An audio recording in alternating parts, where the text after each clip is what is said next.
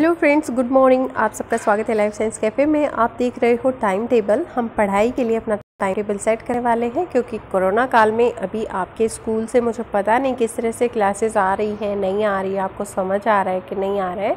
लेकिन हम अपने लेवल पे अपने आप को ट्रेन करेंगे, ठीक है? आपको सुबह उठ जाना है, सूर्य निकलने से पहले, क्योंकि तब जब जो लोग उठ जाते हैं, उनका माइंड पूरे दिन फ्रेश रहता है। और ये एक बहुत ही अच्छी हैबिट भी है कि आप सूर्य उदय होने से पहले ही उठ जाएँ। उसके बाद आप करेंगे एक्सरसाइज बॉडी वार्म अप करेंगे और योगा ज़रूर करेंगे। मैंने nine to nine thirty yoga लिखा हुआ है। इसमें आप आधा घंटे योगा करें, अनुलोम अनुलोम विलोम करें या फिर आप कपाल भाती करें या कोई भी योगा करें, जिससे आपको रिलैक्स होती है, आपकी बॉडी रिलैक्स होती है, आपका माइंड रिलैक्स होता है। टेन टू टेन थर्टी में मैंने कुछ भी नहीं डाला है। इसमें आप अपनी मदर के साथ रहेंगे, अपने फादर के साथ रहेंगे। घर में ऐसे काम करेंगे जो आपको दिन में देखकर अच्छा लगे। इससे भी बॉडी को हमारी एनर्जी मिलती है, बहुत पॉजिटिविटी आती है।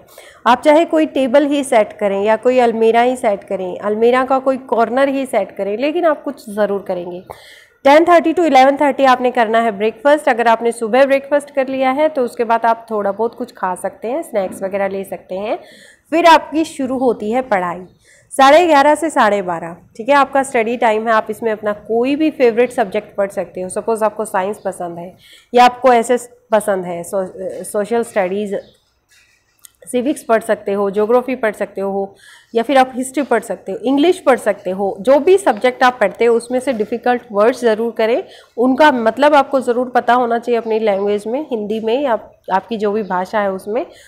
उसके साथ ही आप इसको आध एक घंटे इस तरह से पढ़ेंगे कि आपको मतलब कुछ सीखना है, ठीक है? उसके बाद ऐसा ना हो कि आप पढ़ने के बाद अगर आपसे कोई कुछ पढ़े तो आपको चैप्टर का नाम भी याद ना हो, ऐसा नहीं होना चाहिए। फिर आपका आता है लंच टाइम। एक से चार बजे तक आपका लंच टाइम मैंने दिया है। इसमें आप अपना कुछ भी खाना पीना खाएँगे साफ़ सफ़ाई भी करवाएँगे, हो सकता है आप मम्मी की हेल्प भी कर सकते हो, जैसे बर्तन साफ़ करने में। चार घंटे का टाइम मैंने, एक से चार बजे का टाइम मैंने इसलिए दिया है, क्योंकि कहीं कहीं किसी किसी घर में लंच बनता है, एक से दो, किसी में दो से तीन, कोई ढाई बजे तक भी खाता है। तो मैंने चार बजे तक का टाइम आपका खाने पीने का दिया है और सिर्फ़ एक घंटे की पढ़ाई इसलिए, क्योंकि हो सकता है आपके स्कूल से भी क्लासेस आ रही हो, है ना? तो इस वजह से आपको ज़्यादा टाइम मिल जाना चाहिए। फिर आता है, आपको कोई भी एक्टिविटी जो आती है ठीक है, जैसे आपको कार्डबोर्ड से कुछ बनाना आ रहा है या फिर न्यूज़पेपर कट कटिंग्स आप करके कुछ कर रहे हो। ऐसी जो एक्टिविटी जो आपके घर में आप डेकोरेट कर सकते हो, अपने पेरेंट्स को दिखा सकते हो, जैसे कार्ड्स बना सकते हो, इस तरह से साढ़े चार से साढ़े पाँच, एक घंटा आप अपने माइंड को रिलैक्स कर सकते हो। फिर साढ़े पाँच से साढ़े छः बजे आपने ये देखना है कि आपने क्या सीखा है?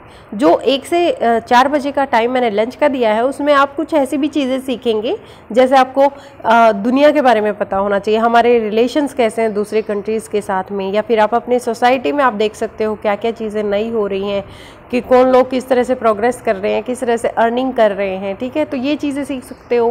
फिर आप आ, कोई ऐसा न्यूज़ चैनल हो जो जो आपको न्यूज़ के बारे में न्यूज़ रीडिंग करना सिखाते हैं बहुत सारे चैनल्स ऐसे हैं इंग्लिश के न्यूज़पेपर पढ़ना सिखाते हैं। अगर वो ज़्यादा टफ लगता है तो आप इंग्लिश में कुछ सुन सकते हो या दूसरी कोई लैंग्वेज सीख सकते हो, है ना? तो ऐसे क्रिएटिव टाइम आप बना सकते हो अपना। ठीक है, फिर आप साढ़े चार से साढ़े पाँच बजे गेम्स और एक्टिविटी करेंगे। साढ़े पाँच से साढ़े छः आपका अपना टाइम होगा, जिसमें आपने पूरा दिन में मतलब साढ़े पाँच बजे तक जो जो भी सीखा है, आप उसको रिकॉल करेंगे। फिर साढ़े छः से और साढ़े आठ, ये स्टडी टाइम है। इसमें आप कोई और सब्जेक्ट जो आपने दिन में पढ़ा था, उससे एक्स्ट्रा सब्जेक्ट आप पढ़ेंगे और उसमें से देखेंगे कि आपको क्या चीज़ नहीं आती है।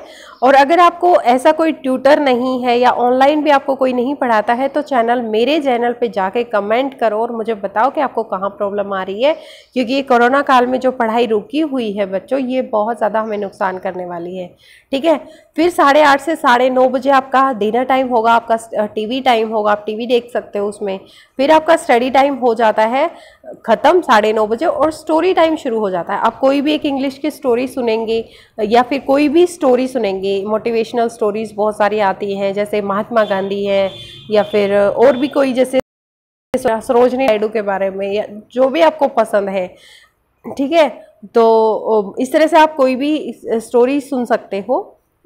या फिर कार्टून की जो मोटिवेशनल स्टोरीज आती हैं, वो सुन सकते हो। और एक अच्छी हैबिट ये आपने रखनी है साथ में कि रात को सोने से पहले ब्रश और पूरा दिन में अपने आप को हाइड्रेटेड रखेंगे, ठीक है? डिहाइड्रेट हो जाती है बॉडी इतनी सारी एक्टिविटी करके तो पानी की बोतल ज़रूर रखें साथ में और सिर्फ़ बाय सिर्फ़ आप लेते रहें पानी, क्योंकि अभी हमारे एनवायरमेंट चेंज हो रहा है कि लिप्स जो है होते हैं बार बार है तो अपने लिप्स पे बाम लगा के रखें ऑयल लगा के रखें, जो भी चीज़ आपके पास पहले पानी पीते रहें ताकि आपकी बॉडी डिहाइड्रेट ना हो, ठीक है? और जो भी आपको प्रॉब्लम है, वो आप मेरे चैनल पे किसी भी वीडियो पे जा के कमेंट करोगे तो मैं उसे देखूँगी और आपको रिप्लाई ज़रूर करूँगी और आपकी पढ़ने में हेल्प करूँगी, क्योंकि मैं नहीं चाहती कि मेरा देश किसी तरह से पीछे रहे, क्योंकि आप ही बच्चे हो, जो देश का भविष्य हो, ठीक है? तो अपनी ज़िम्मेदारी को समझो और इसी को ध्यान में रखते हुए पढ़ाई करो अच्छे से टाइम टेबल अगर आप कहेंगे तो हम सब्जेक्ट वाइज भी यहाँ पे शेयर कर सकते हैं।